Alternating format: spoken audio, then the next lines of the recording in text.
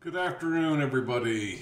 On Tuesday, the 26th of January 2021, we got two of our main FANG components reporting earnings tomorrow uh, Facebook and Apple. I'm not sure if they're going to overwhelm as expected or underwhelm, as the case may be, but let's see if we can figure out some potential price target parameters on both of these dogs. Yesterday's daily candle on Apple is really troubling. I mean, it's a high frequency, um, long legged candle with really no real body to speak of at all on Apple. When it hit the 153 area, the sellers came in and just smashed the bullwinkles with both fists all the way back down to this area that we're trading in again today on Apple. Money stream has been good for the past week to 10 days, but it's starting to flatten out yesterday and going into today. Volume right now, uh, halfway through the session, 55 million shares. Not incredibly um, impressive just yet on Apple. Let's get a price octave going, and for that, let's take the September 21st low of 103.10 up to yesterday's high at 153.45 and we'll bring in our diatonic calculator on Apple here and go ahead and set up the price octave. 103.10 was the low of the octave the root dough Yesterday's high 143.45. I'm sorry, 153.45. Get some Python going on here.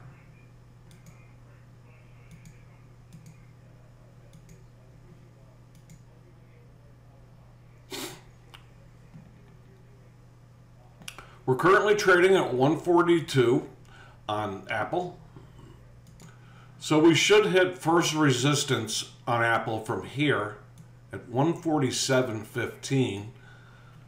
That would bring us into the higher octave from yesterday, up above 153.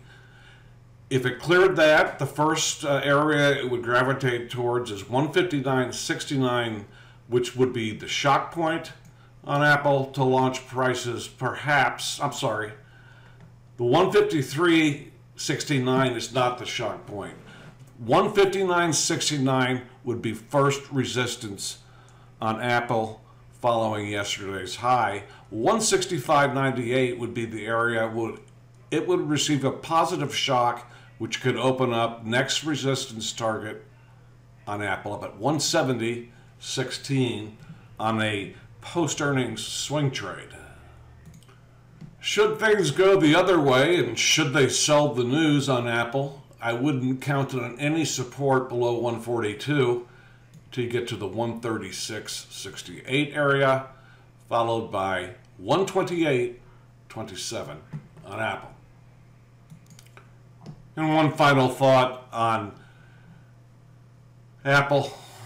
You have the 50 day moving average support down around 126 and then you have this uptrend line from September 21st and then a higher low at October 30th, would, which would put in additional support around the 117 area for Apple.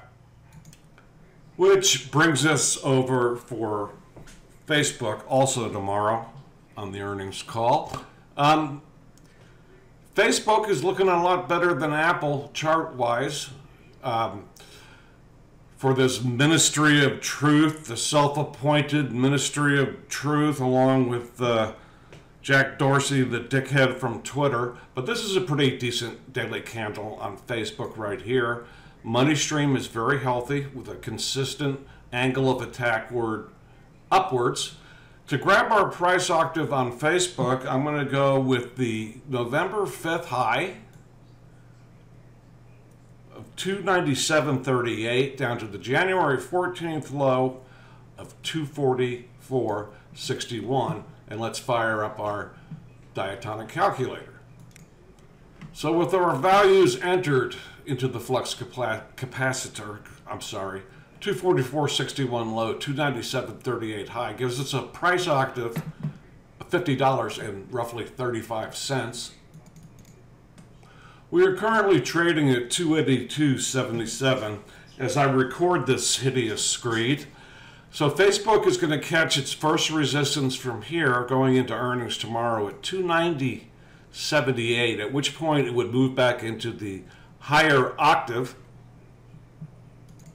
And on a good report, and God willing and the creek don't rise, 303.92 would be your first resistance on Facebook, followed by 314.89 if it's a very good report. If the report is less than spectacular, for Facebook, I would put first support down at 279.80, which is very close to where we are right now. More likely, I think you're looking at 262.23 support on Facebook.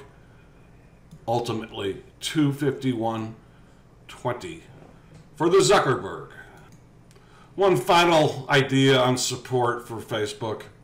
You've got the 50-day moving average down there at 272. And again, if things are less than pleasant on the on the conference call, you got this gap to fill down here around 261, 262 from back in mid-January. All right, guys, time to buckle up and strap it on for FANG earnings, Apple, and Facebook. I am King Cambo, smoking if you got them, and that's how I go on Apple, and Facebook.